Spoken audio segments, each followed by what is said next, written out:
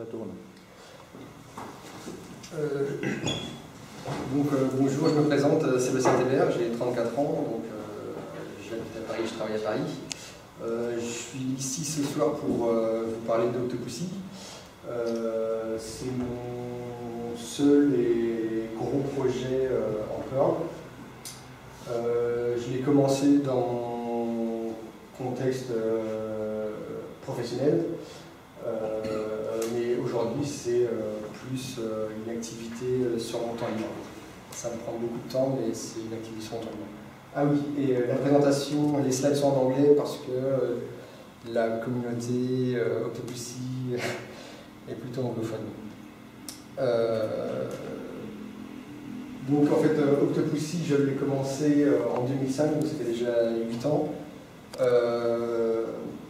Donc Octopussy, c'est une solution de gestion de log euh, entièrement développée en Perl et elle est très orientée euh, dans un contexte de production. En fait, euh, à l'époque, j'étais un système administrateur plus qu'un développeur Perl. Enfin, d'ailleurs, je suis toujours plus un administrateur système qu'un développeur Perl. et donc, ça a été surtout développé par des administrateurs système. Et donc, ça se ressent dans la manière que ça a été développé euh, et utilisé. Euh, pour situer le contexte, je travaillais à l'époque euh, dans un service qui gérait le point d'accès Internet d'une grande banque française.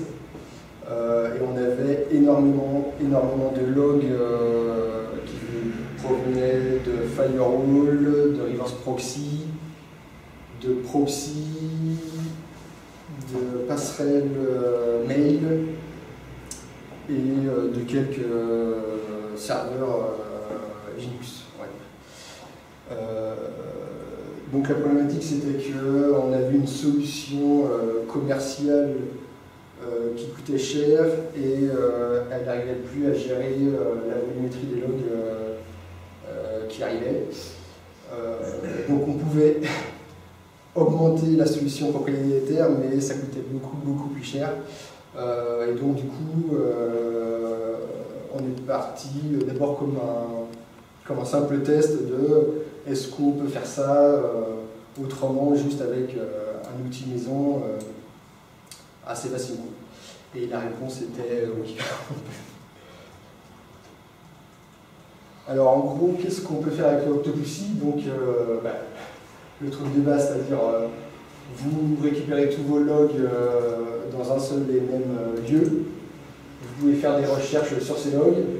Vous pouvez lever des alertes sur ces logs, soit en fonction d'un pattern, soit en fonction d'une catégorisation de, de logs. Et vous pouvez aussi faire du reporting, alors soit de manière historique, soit un tableau comptabilisant telle ou telle euh, occurrence de leur. Alors, euh, les sources que gère Octopussy en fait, bah, sont de deux types. En gros, tout ce qui est syslog, aussi bien TCP que UDP. Et euh, en fait, tout, tout, équipement qui peut transférer ces logs vers Octopussy de n'importe quelle manière. La seule contrainte, c'est que ces fichiers doivent être euh, des fichiers texte, euh, pas binaires. Alors, comment ça marche? Alors, euh, en gros, sur un serveur Octopussy, les logs sont reçus par le syslog serveur, donc ça peut être soit RSyslog, soit syslog-ng, soit n'importe quelle solution de, récupération de, de logs. Euh, et ce, serveur, lui, par contre, écrit sur une FIFO que euh, le process Octodispatcher, euh, un processus Octopussy, lit ces, logs qui lui arrivent sur ce FIFO et le dispatch dans une arborescence dans une arborescence sur le file system. Donc c'est orienté device, année, mois, jour et un fichier avec l'heure et la minute. Et XX euh, qui correspond euh, au step de, de secondes. Donc en fait, toutes les, toutes les 10 secondes, en gros, il écrit un fichier dans un répertoire pour un équipement. les autres process octopussy, donc octoparseur, c'est un parseur par équipement et chaque parseur s'occupe de traiter les logs donc, qui arrivent dans ce répertoire-là, device incoming, et lui, il les redispatche de nouveau en device service et, et, la date et l'heure du log. donc c'est structuré, alors un, donc un, un, processus en entrée qui se contente juste de faire la répartition entre les équipements. Et X X processus parseurs qui, euh, eux, un par device, qui eux euh, redivisent à, nouveau ces logs, euh, à nouveau ces logs sur, sur le file system. Alors pour que pour qu'un équipement puisse gérer ces logs, il faut lui affecter des, des, services. Alors en gros un service c'est juste une liste de, de messages et un message, c'est euh, un identifiant unique, le, niveau de log, la taxonomie. Alors la taxonomie, c'est euh, la catégorie, en fait, c'est ni plus ni moins catégorie. Et euh, la table, c'est la table SQL dans laquelle sera injecté ce log lors d'un rapport. Ce n'est pas utilisé lors du parsing, c'est uniquement utilisé lorsque l'on veut faire un rapport. Euh, et puis bien sûr le, le, pattern en question qui permet de récupérer les différents champs de voilà. Donc euh, un service, enfin, on peut affecter un ou plusieurs services à, un équipement. Euh, et on peut ordonner ces, ces services dans cet équipement, d'une priorité plus ou moins importante. Donc la deuxième fonctionnalité, c'est les alertes. Alors les alertes, elles, on peut les associer sur un ou plusieurs équipements, sur un ou plusieurs groupes d'équipements. Euh, on peut restreindre ces alertes à un niveau de log, à une euh, catégorie log, à une euh, période donnée. Donc la période donnée, c'est les heures ouvrées, le week-end, la semaine, ce genre de choses. C'est défini par l'utilisateur. Et on peut euh, inclure une regex euh, pour matcher ou ne pas matcher tel type de, log. Euh, donc là, par exemple, sur ce, on ne voit pas très bien, mais en gros, sur, sur, un, sur un équipement donné, je, je m'occupe du service SSHD. je lui demande de récupérer tous les logs qui correspondent à une authentification failure et euh, qui euh, dans le log, il y a écrit euh, authentification failure donc ces alertes, on peut, alors quand elles sont générées, elles sont sauvées dans Octopussy dans la base de données, et elles peuvent être aussi envoyées soit par mail, soit par Jabber, mais aussi sur Nagios et Zabbix.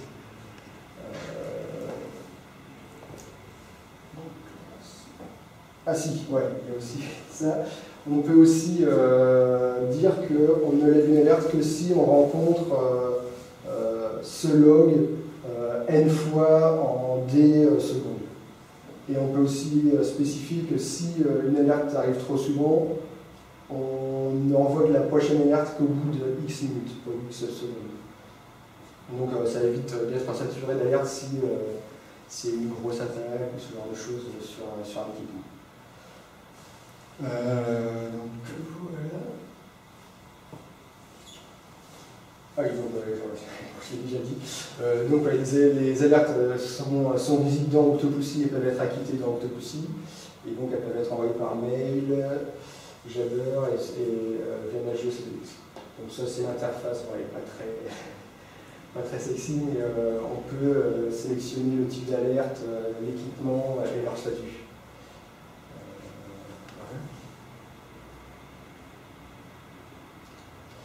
Alors, pour les rapports générés, alors il y a on quatre types de rapports. Euh, donc il y a les tableaux purs où en fait c'est un tableau avec X champs récupérés dans les logs, où on peut faire des, des rapports RRD ou des histogrammes ou des camemberts via Open Flash Chart. Alors c'est pas très joli, c'est en flash, mais ça va changer. Euh, donc là, pour un rapport, euh, de la même façon, on choisit euh, le type de graphe, la table du coup sur laquelle on fait nos requêtes, le type de log, la catégorie log toujours, et après on choisit, donc là il faut connaître un peu la syntaxe SQL, à la fois les champs et les fonctions qu'on peut affecter sur ces champs. Et ensuite, on peut carrément faire compléter la requête SQL générée et faire des groupes by et des bords euh,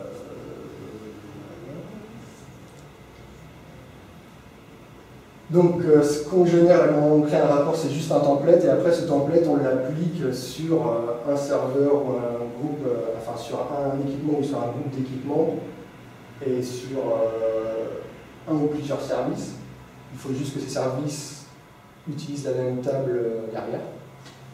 Euh, toujours, ben, on peut choisir le, niveau de log et la catégorie de log, et puis on choisit euh, euh, un intervalle de temps sur lequel on, effectue ce rapport. Donc voilà, j'ai mis deux exemples. Donc là, un, calendrier qui montre la répartition des, logs par service.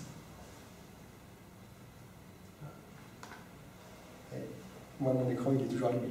Je sais pas si c'est possible. C'est vidéo proche. Ouais. Reprise après cette euh, technique.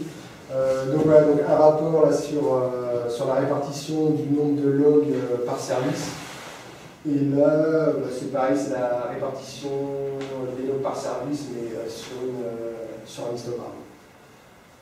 Euh, bon, là, j'ai pas mis des notes plus sexy parce que je l'ai fait juste sur la machine de dev. Alors, maintenant, une des grosses euh, fonctionnalités d'Octopussy qui, euh, qui est très intéressante, enfin, en tout cas, qui était très intéressante pour nous à l'époque, c'est comment on intègre tous les logs qui sont pas reconnus par défaut par la solution. Et en fait, ben là, Octopussy, il a la fonctionnalité de Log Wizard, donc en gros, tous les logs qui ne sont pas reconnus euh, par défaut euh, vont dans la catégorie unknown. Et après, euh, dans l'interface web, on a un moyen de, les visualiser et donc du coup de les intégrer soit dans un nouveau service, soit dans un service déjà existant. Donc là, il affiche des logs inconnus. donc il, reconnaît déjà bah, quelques types de base par défaut. Et après, c'est juste à nous, alors soit de faire une recherche et de voir si. Euh, parce qu'en fait, je vais dire ça, c'est que comme on affecte des services à un équipement, si on a oublié d'ajouter un service à un équipement, bah, il est euh, considéré comme euh, enfin, inconnu. En fait, en, cliquant sur ce point-là, ça permet de chercher si ce log finalement est connu dans un service et donc du coup de rajouter ce service. il n'y a pas besoin de créer un nouveau service, le service existe déjà mais il n'a pas été affecté à l'équipement. Donc, bah pour on, choisit un service, on, définit euh, le niveau de log, euh, la catégorie et la table dans laquelle éventuellement on fera un rapport avec. Et une fois qu'on a sélectionné ça, on, peut éditer donc, euh, le pattern du log pour pouvoir justement matcher au au mieux le log d'origine. Euh, et pendant qu'on qu'on édite euh, le log, en fait, il nous indique la partie qui ne matche pas encore. Donc en fait, tant que, tant que le pattern qu'on édite ne matche pas le log qu'on est censé euh, intégrer, on ne peut pas soumettre le log dans, le service. Et donc une fois que tout est vert, on peut cliquer et, donc du coup on ajoute un message à un service, service qui est affecté au device et donc du coup le log reconnu et disparaît des, des logs inconnus. Donc euh, bah, c'est une fonctionnalité plutôt sympa. Euh, pour rapidement augmenter le nombre de services reconnus. une autre fonctionnalité aussi sur Octopussy, c'est, bah, enfin ça par contre tout le monde là, c'est la restriction d'accès pour, les users. Donc en fait, pour un user, on peut lui restreindre d'avoir accès uniquement à certains équipements, à certains services, à certaines alertes euh, ou à certains rapports. Et on peut aussi lui restreindre euh, le nombre de minutes sur lequel il fait une recherche. Parce qu'on a vu la problématique que nous, on fournissait un produit à plein de services et les gens, ne savaient pas que s'ils faisaient une recherche sur six mois euh, sur un firewall, ça pouvait causer des soucis. Donc on, on, restreignait la recherche pour, pour certains users.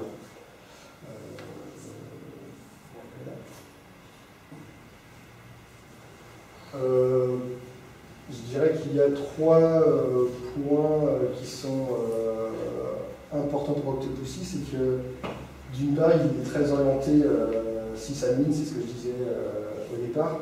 En fait, c'est globalement la seule chose qui fait au niveau de vos logs, c'est qu'il les trie juste et qu'il les indexe juste par rapport à un équipement, un service et une date il ne fait pas plus que ça. Donc en fait, c'est très facile pour vous après si vous voulez euh, utiliser Octopussy juste pour indexer les logs, mais ne pas du tout l'utiliser pour euh, lever des alertes ou générer des rapports. Vous pouvez toujours faire ce que vous faisiez avant, des, des grep, des grep, extraire, euh, extraire juste une journée de log, le, copier, le déplacer, en faire ce que vous voulez. et en fait, je me suis rendu compte surtout de ça par rapport aux autres solutions qui justement, eux, utilisaient des bases de données.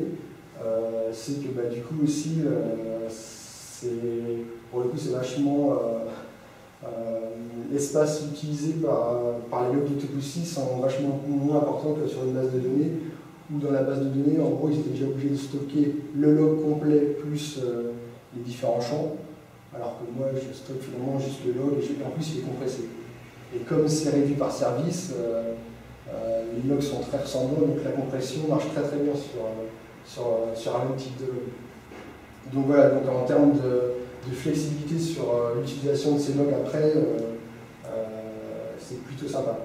Une autre possibilité que j'ai peut-être pas évoquée, c'est qu'on peut aussi définir pour chaque service où ces logs seront stockés dans votre file system. Donc en fait, ce qu'on peut faire, par exemple pour améliorer les performances, c'est que tous les logs euh, qui arrivent du, euh, du dispatcher sont, peuvent être stockés dans un file system euh, en RAM, vu que ces logs-là ne sont pas censés rester longtemps sur ce file system-là, vu qu'ils doivent être traités après par les parseurs. Et, autre chose, c'est que vous pouvez aussi mettre un certain log dans un autre file system qui lui peut être synchronisé sur un autre serveur par des RBD par exemple. Nous, c'est ce qu'on avait fait, c'est que les logs incoming, euh, on les synchronisait pas, on les synchronisait pas parce qu'ils euh, euh, n'étaient pas censés rester là plus de, quelques secondes. Par contre, dès que les logs étaient traités dans, un service, ils étaient dans un système particulier qui lui était synchronisé en DRBD sur, sur un autre serveur. Donc ça, ça permettait d'avoir une autre disponibilité relativement simple à mettre en place. En tout cas, totalement indépendante d'Octopussy. Euh, bah, un autre point qui découle un peu de ce, fonctionnement euh, basé uniquement sur le file system, c'est que bah, du coup, euh, si vous ne faites pas des trucs trop exotiques avec Octopussy, vous pouvez avoir des très très bonnes performances, vu qu'en gros, à part le parsing supplémentaire par Perl, par, par, par, Octopussy, en fait, euh, c'est juste de l'écriture sur disque. Euh, donc ça peut être relativement rapide par rapport à une insertion en base de données sur autre chose. Euh, donc, dans mon job précédent, en production, on arrivait à des choses du style 240 000 logs par minute en période de pointe. Et dans mon job encore précédent, où là j'ai développé Octopussy, ils avaient atteint jusqu'à 2 millions de logs par minute en période de pointe quand je suis parti. Euh, et donc du coup, quand on arrive à des situations comme ça, 2 millions de logs par minute, euh, l'espace disque devient du coup assez important finalement. bon, alors après, il faut aussi être réaliste, ces performances dépendent énormément de l'hardware, dépendent énormément aussi de comment ces logs sont générés. C'est-à-dire que Octopussy est plus orienté, en tout cas pour le moment, sur une infrastructure peu d'équipements qui génèrent beaucoup de logs, que l'inverse, que, beaucoup d'équipements qui génèrent logs. Vu qu'il fonctionne euh, un parseur par équipement, euh, si vous avez 3000 équipements, euh, ça fait 3000 parseurs, et donc c'est vraiment plus orienté des gros des, gros équipements qui génèrent beaucoup de logs plutôt que plein de petits qui génèrent peu de logs. enfin, typiquement là dans le Là où on établit le log, en gros, on n'avait qu'une euh, quarante, cinquantaine de machines. Mais, ah, ça veut. Euh, donc voilà pour la réponse. Et le troisième point aussi, enfin, c'est toujours un peu le même principe, c'est que euh, les, ce que vous faites de Volog n'est pas euh, n'est pas gelé dans le temps. Pas, vous êtes totalement libre de les, euh, de retravailler euh, dans le futur. Là, typiquement, comme euh, il n'y a aucun stockage en base de données, le fait de modifier les champs, rajouter des champs dans vos patterns, n'influe pas le, stockage du log et n'influe uniquement, uniquement lors de, de, la, génération d'un nouveau rapport. Donc, vous ne touchez pas du tout à vos logs si vous rajoutez un champ, si vous en supprimez, si vous, vous et, euh, même, et même si vous deviez, euh, si, euh, je sais pas, pour des raisons, typiquement vous avez un, un service qui s'adresse à plusieurs, enfin un service mutualisé qui s'adresse à plusieurs clients, et vous voulez diviser les logs par client, vous avez le même type de log, mais il y a juste un champ qui différencie ces logs par client. Vous pouvez décider de faire, euh, au lieu d'avoir un seul service global euh, pour gérer tous ces logs, en fait vous en créez plusieurs. Euh, et ça, vous pouvez même le faire a posteriori parce qu'en fait, il y a une fonction de replay des logs. Vous pouvez dire à Octopussy, rejoue-moi tous les, enfin, réinjecte-moi en fait dans le parseur tous les logs de ce service sur tel intervalle de temps, et lui il va les reparser, et avec les nouveaux services, du coup il va les redispatcher sur, sur plusieurs services. Euh, voilà. Donc en gros, l'idée c'est vraiment que c'est euh, très flexible sur. Euh, vous pouvez toujours changer d'avis à n'importe quel moment, vu que finalement il indexe les logs uniquement de manière très basique. Le, fait de rejouer les logs, ça peut fonctionner aussi dans l'autre sens. Je veux dire, on se rend compte qu'on a fait trop de services et qu'on veut reconcentrer ça.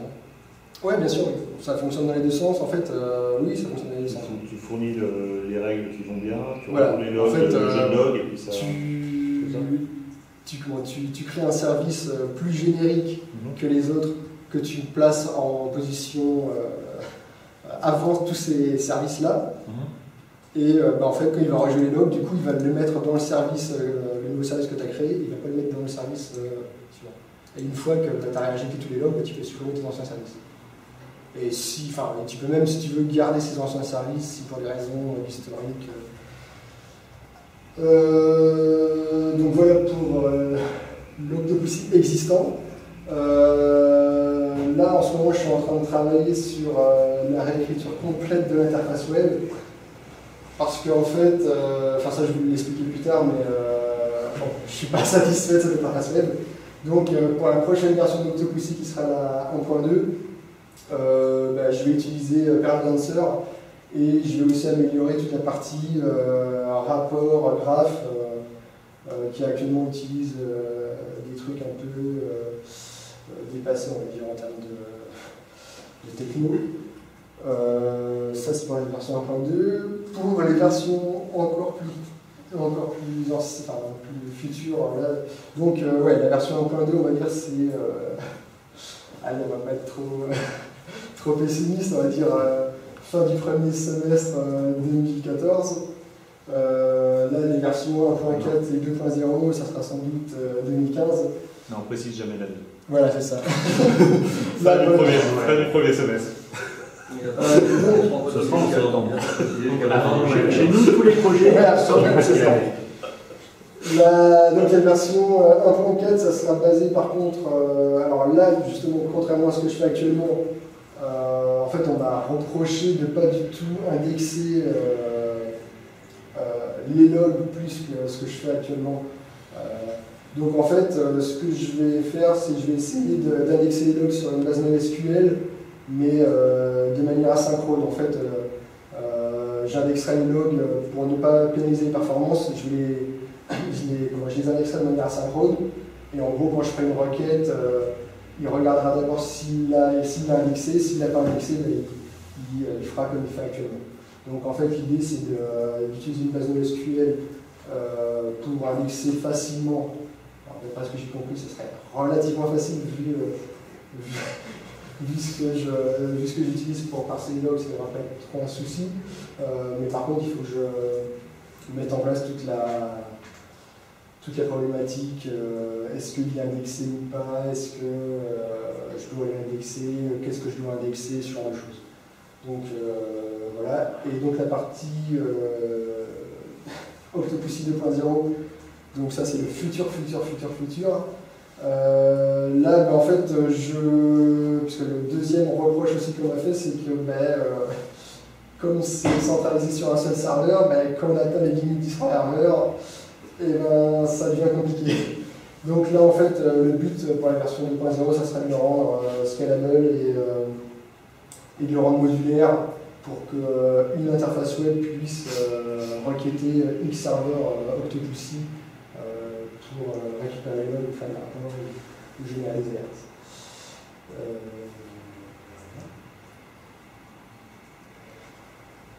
euh, donc, bah, si vous voulez participer à la communauté Octopussy, bah, je suis sur pas mal de trucs. alors, GitHub, c'est très récent.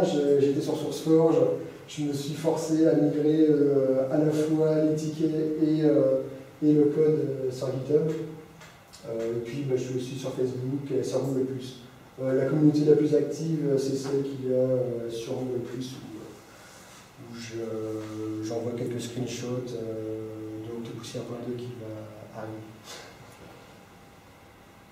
voilà, donc, alors oui,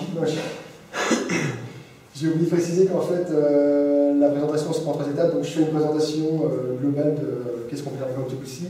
Après, je vais vous faire une démonstration en live de comment on peut faire. Et après, je vais juste faire une mini présentation de comment j'ai fait ça en Polar. Donc ça va être très très court, hein. c'est euh, juste avec euh, trois exemples concrets de ce que, ce que j'utilise. Euh, donc voilà, donc, si vous avez des questions. Euh... si ça tombe pas, j'ai vu que tu avais l'air d'utiliser pas mal de débuts de termes qui correspondent à Unix. Est-ce qu'Octopussy, euh, compte tenu que j'ai utilisé les services et les devices, marche dans Windows par exemple Alors oui, en fait, euh, bah, il suffit juste de configurer ton Windows pour qu'il envoie euh, en syslog logs. Donc par défaut, il y a un service,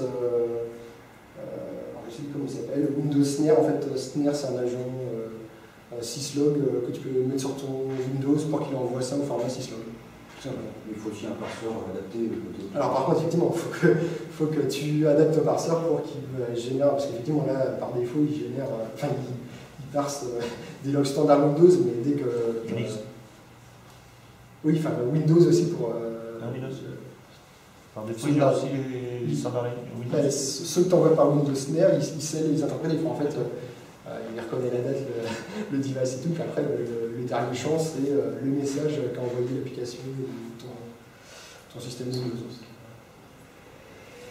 Euh, J'aurais une question. Euh, Déjà une, question, tu as finalement beaucoup prendre interface web, mais est-ce que tu as aussi des lignes de commande? Oui, en fait, euh, bah, il est très orienté euh, Unix. Hein. Tout ce que tu peux faire par l'interface web, tu peux le faire derrière. En, gros, globalement, l'interface web lance des commandes Unix derrière quasiment. C'est très. Voilà, tu, peux arrêter, redémarrer un parseur en ligne de commande, le dispatcher pareil, tu peux lancer un rapport en ligne de commande, euh, euh, tu peux lancer une alerte, enfin bon, voilà, tu peux. Pour les alertes. Euh, non, parce que les alertes en fait, c'est pas. c'est pas un processus. euh, c'est pas un Et une deuxi- deuxième question en plus sur euh, l'aspect fonctionnel, c'est. J'ai pas l'impression en fait que. Je suis pas montré que tu ne peux pas faire de, de corrélation en fait, enfin d'analyse avec plusieurs de, de devices en même temps. C'est-à-dire faire justement de la corrélation de log. Alors- faire quelque chose en fait Ouais. pour fusionner. euh, si tu prends, on va dire, un concurrent qui est, qui est sec, je sais pas si tu connais, euh, Euh, si c'est pas le même corrélateur. Ouais, Alors, Puis pareil aussi, si tu le fous dans, SysLogNG, euh, l'avantage c'est que tu peux en gros dire si j'ai repéré tel événement avant, j'ai tel autre événement, tu peux faire des corrélations d'événements. Alors ça, euh, non. Enfin, tu peux pas euh, faire ouais, des. Si j'ai eu ça avant euh, et que j'ai eu ça après et qu'entre C'est comment temps.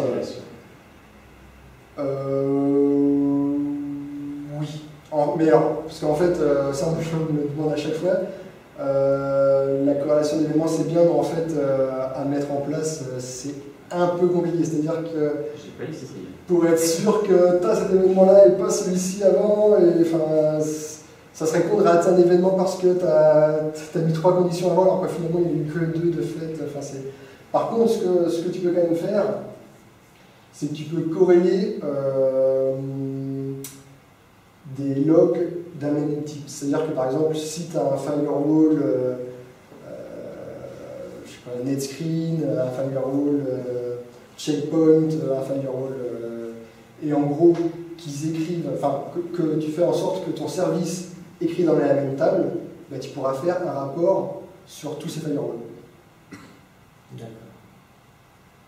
Donc en gros, en créant des services euh, génériques, Tu- Tu regroupes non, tu auras, non, justement, tu auras trois services différents, ah, mais, tu euh, écrire en mais dans la table, le, le- le champ table là, La corrélation, enfin, tu l'as fait au niveau rapport dans la base de SQL. ah oui, oui, par, alors euh, oui, par contre, oui, c'est c'est pas. ce que tu dis là. Oui, ouais, c'est ce que je dis, oui. C'est un ra- là, c'est euh, faire un rapport global sur plusieurs euh, équipements différents, mais qui ont la même fonctionnalité. on va dire.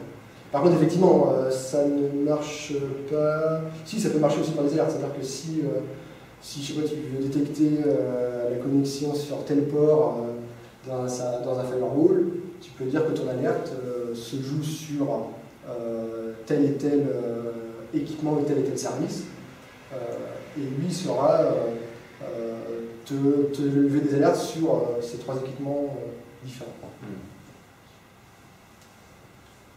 Moi j'avais une question, je me demandais ce qu'il fallait pour que ça fonctionne, qu'est-ce qu'il faut installer ça utilise quoi Alors il y a beaucoup de dépendances.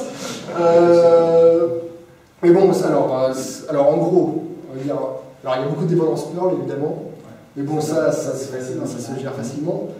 Euh, alors il y a une dépendance envers euh, les R6log. Alors en fait, avant c'était syslog-ng, Debian est passé à R6log, donc j'ai suivi sur R6log. Mais bon, en gros, n'importe quel syslog agent, euh, enfin syslog server peut, euh, peut m'envoyer les informations. Il faut juste le configurer pour qu'il puisse le faire. Mais ça fonctionne, suffit de la recevoir. Voilà. Euh, Enfin, tu as juste de la configurer, juste à savoir que ton, ton syslog serveur doit envoyer vers, euh, vers le Octopussy, Octofifo. Euh, c'est dans un ainsi de fichier quoi. Oui, c'est dans un fichier. Euh, bah, il a une dépendance euh, sur Apache, mais bon, rien ne t'empêche de le faire sur autre chose. hein, Il faut que tu précises, c'est pas du tout évident à comprendre le dialogue. Ça ne tombe pas sous la forme d'une application web dans le serveur web que tu fais tourner une instance spécifique ouais. d'Apache. Ouais. Donc ça doit, être, ça doit être techniquement possible sur un autre, un autre serveur web, Ouais. mais j'en suis moins persuadé. Si tu peux répéter quoi. C'est pas, du- c'est pas du CGI. La façon dont tu l'utilises, pour les questions de droit sur le fichier, sur la connexion de fichier, Ouais. Tu le fais tourner comme une instance supplémentaire de ton serveur Apache. Ouais, tout à fait, ouais. Donc il n'est pas dit que tu puisses le faire de façon transparente avec n'importe autre. Ah, je n'ai pas dit de façon transparente. hein, c'est- Non, mais il faudra, il faudra de toute façon, oui. mais, enfin, si tu fais pas de la page, il faudra euh, sans doute euh, faire en sorte que le user euh, de ton instance euh, Nginx ou autre puisse, puisse écrire effectivement dans, dans le file system Ça, Non, mais je dis pas que c'est transparent. Je dis que dans l'absolu, il n'y a rien qui m'empêche de le faire. Pareil, là, je suis. euh, euh, pour la base de données, j'utilise MySQL. euh, Dans l'absolu, euh, je pense pas qu'il y ait beaucoup, beaucoup de problèmes à, à utiliser Postgres ou autre chose. Est-ce qu'il y a des membres de la communauté que tu connais qui le font tourner sur d'autres serveurs web et sur d'autres bases de données? Non, globalement, enfin si, le seul, la seule truc, euh, c'est syslog-ng. Il y a des gens qui ont fait en sorte que syslog-ng puisse le faire, euh, mais euh, qu'ils ont pris autre chose que Apache, je, je crois pas, et MySQL non plus. En gros, tu as besoin d'un moteur HTTPD, un moteur Ouais. HTTP, et d'un moteur syslog pour capter tes logs. Ouais, et un moteur euh, SQL moteur quand même. euh, alors, le moteur, enfin, alors, dans la version Octopussy 1.2, euh, comme ça sera sur Cloud Dancer, ça sera plus facile normalement de le faire changer d'Apache euh, vers un autre. Euh, pour la partie euh, RSyslog, syslog-ng, bah, c'est juste du paramétrage. hein, pour le coup, c'est vraiment euh, juste euh, faire en sorte de le paramétrer pour euh, écrire ses logs dans un FIFO. Donc, euh, je pense qu'ils peuvent tous le faire. Euh, et, pour euh, MySQL, euh, alors ça serait peut-être à vérifier parce que j'utilise peut-être des fonctions MySQL pour, euh, pour certaines fonctions. Donc ça serait à vérifier. Mais, euh, mais bon, dans l'absolu, c'est pas, euh, c'est pas incompatible. quoi. Et justement, parlant de base de données, il n'y a pas de. C'est pas limitant au niveau des perfs, euh, des fois, le fait de, de- de faire euh, beaucoup de requêtes sur la base de données? Alors justement, ouais. Et est-ce que. C'est- Alors c'est ce que j'avais c'est que du coup Octopussy il est plutôt bon en perf pour recevoir les logs, mais effectivement si tu fais une recherche sur euh, euh, une période de temps très élevée, sur beaucoup de serveurs et tout, là effectivement c'est non. Donc c'est pour ça que euh, j'ai dit qu'on m'avait fait des reproches euh, sur ça et c'est pour ça que je vais pousser vers, euh, vers un indexing dans la Octopussy 1.4. Euh, mais oui c'est évident que euh, quand tu reçois 2 millions de logs à la minute, euh, il y a un moment, quand tu vas faire une recherche sur ces logs, euh, ça va prendre du temps. Alors par contre, si euh, tu recherches sur une période moyenne précise, ben là tu n'es pas pénalisé. Mais, euh, mais c'est dès que tu cherches sur une période euh, longue, tu ne connais pas. Il y a un point que je n'ai pas compris dans, dans le. Donc, si, compris les logs sont décomposés en petits fichiers. Ouais. Dans le fichier, il y a plusieurs lignes de logs, j'imagine. Oui, oui, oui. Mais il y a quand même énormément de fichiers. Il y a énormément de fichiers. ouais. On n'arrive pas à des limitations de, de l'OS. Euh, bah, tu peux les, tu peux les lever, enfin tu peux les augmenter. Euh, souvent, ouais, effectivement, il y a, alors il y a deux limitations. Enfin, le- la deuxième limitation, je vais en parler plus tard, euh, parce que c'est lié à ce que j'utilise. Mais, euh, mais non, la limitation du file system, je veux dire, ça c'est quand même géré beaucoup de fichiers. Enfin, je veux dire, au pire, dans un répertoire, il y aura. Parce que tu fais, aura, tu des sous-répertoires ou tout est en vrac dans des répertoires bah, dans, dans, dans le répertoire d'une journée, au pire, il y aura. Euh, Ah, 24 fois 60, euh, il y Ouais, aura c'est pas comme ça. 440 euh, fichiers. Quoi. Ouais, donc ça s'autogère, ça s'auto-répartit. Voilà, ça s'auto-répartit dans, dans un répertoire, tu peux pas avoir plus de 1440 fichiers. Et euh, par contre, tu peux avoir, euh, et sur an, tu auras 365 répertoires de... Et pourquoi tu disais que c'était GZIP À quel moment ça serait GZIP C'est pas c'est sans. Alors si justement, à, bah, dès que, dès que c'est parsé et que je le mets sur le fichier, je le zip aussi. Qu'est-ce que ZIP C'est le fichier, le répertoire C'est le fichier. Chaque fichier Ah, est D'accord. Chaque fichier de 10 secondes, là, est zippé. Chaque fichier d'une minute est zippé. Alors, les 10 secondes, c'est pour, euh, pour pouvoir avoir une réactivité en termes de, de log qui arrivent rapidement. Mais par contre, ça quand je les écris dans un service, là, ils sont par une minute. Ouais. Euh, mais bon, par contre, si vous avez 2 millions de logs à la minute, euh, ben, une minute de log, ça peut représenter euh, une certaine taille. Ça. Euh, ouais. Et en fait, euh, je m'étais dit. Alors, si en plus euh, cette fonctionnalité est débrayable, si euh, vous constatez que le fait de zipper les fichiers euh, vous fait perdre des performances, vous pouvez le- désactiver le, le fait que ce soit zippé. Mais ça veut dire qu'après, Donc, quand, aussi. Il sait, il- quand tu vas indexer ça dans la base SQL, tu es obligé de lire les lignes et donc de dézipper à chaque fois pour lire Ouais. les lignes. et- Ouais, en pratique, tu as plus de CPU que, que de Ouais, c'est possible. C'est plus que possible. va- Sur la machine Euh, actuelle, bien sûr. Ouais, enfin voilà, le- globalement sur un gros rapport, le fait de dézipper le fichier, c'est pas ce qui fait perdre le plus de temps. C'est vraiment l'accès au disque, le truc euh, qui fait que. L'avantage, c'est que ton, ton fichier en zip il prend une place, donc peut-être à moins de. Tu fais peut-être bande passante. Puis parce que les IO contre du. Euh, Mine de rien, enfin, ça fait très longtemps que c'est un, truc hyper flexible. Tu gagnes en bande passante euh, entrée sortie et puis compresses. On pourrait utiliser un file system ZP directement. Oui, mais le, le, le problème c'est qu'un système de fichiers zippé, enfin compressé, c'est euh, il y en a moins et euh, ils ont plus de problèmes en tant que tel. Si tu veux. Et là, surtout, plus, le zip est sur des, euh, des lignes de log qui sont quasiment identiques. Donc, euh, le, taux de, le taux de compression sur ces, euh, sur ces fichiers, c'est c'est vraiment important. hein. Je crois que c'est x 20, un truc comme ça. Enfin, c'est, euh, c'est, euh, Divisé par. Divisé par. oui, divisé par. Potentiellement, après, tu peux choisir, j'imagine, autre chose que j'ai zip, euh, genre passer des zip aux éléments. Alors euh, là, tu, bah oui, dans, dans l'absolu, tu pourrais le faire. Alors justement, je vais. Alors, j'avais posé, j'avais posé une question à, à l'époque sur Stack Overflow parce que je, je m'étais rendu compte que euh, j'arrivais pas à voir. Enfin, la compression en Perl était plus lente que si je faisais un, un Z4, enfin, ou un, enfin, si je faisais un, Un appel à la commande. voilà. Si je faisais un pipe euh, à la commande, euh, c'était plus rapide que de faire d'utiliser le module. Et en fait, il y avait un seul module qui a priori était plus rapide que ça, mais je ne l'ai pas intégré parce qu'il n'était pas euh, par défaut dans la distribution et que du coup je voulais pas avoir de dépendance. euh. Mais bon, dans la, donc C'était voilà. pour quel euh, algo de.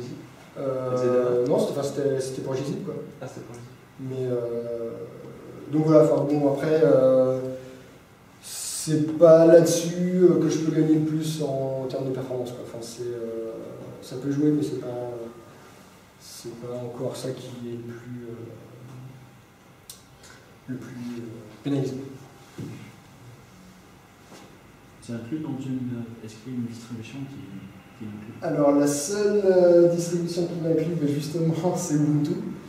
Euh, le problème c'est que ben, c'est un peu une version euh, Ils ont un peu de retard. C'est bah, c'est vraiment c'est le problème de distrib. Hein. Du coup, euh, bah, là actuellement sur, la, sur Ubuntu 13.10, ils ont Octopussy 1.6, 1.0.6, alors qu'on est actuellement à 1.0.10. Alors bon, ça me paraît pas tant que ça, mais en fait, euh, le moindre changement mineur d'Octopussy peut, peut être finalement assez euh, important. C'est c'est inclus dans Ubuntu mais pas dans Debian. Ouais. Alors en fait, Ouais, euh, c'est possible ça. Ben oui, en fait, euh, un mec de Ubuntu m'a contacté, m'a dit Est-ce que tu es intéressé par euh, le fait que tout soit intégré? J'ai dit Oui, oui, oui. Euh, et après, lui, il a fait une demande à Debian pour que ça le soit aussi, parce qu'après, lui, c'est la politique. Mhm. Et a priori, ben, pour l'instant, ça n'est pas encore sur. D'accord. Moi j'ai un potage pour Node.js, si tu veux, il est dans Node.js 4 demain. Ah, ben, très bien. Je ne demande que ça. Euh. Donc, euh, d'autres questions Sinon, on peut peut-être passer sur la démo. Ça a été, euh. Un démo. Bon, alors la démo.